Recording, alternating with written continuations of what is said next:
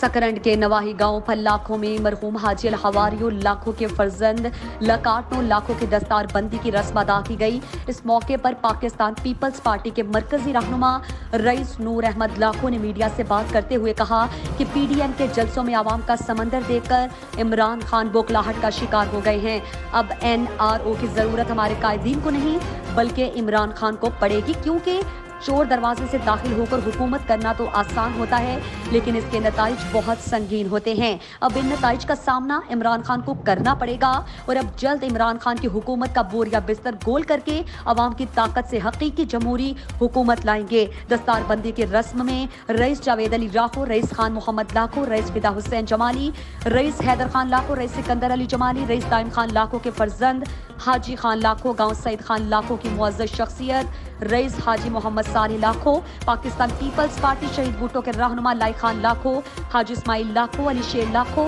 Pakistan Peoples party پر لاکھو کے رہنما یاسین لاکھو اور دیگر معزز شخصیات نے خصوصی شرکت کی آخر میں مرحوم حاجی الحواریو لاکھو کے سال ثواب کے لیے دعائیں مغفرت کی گئی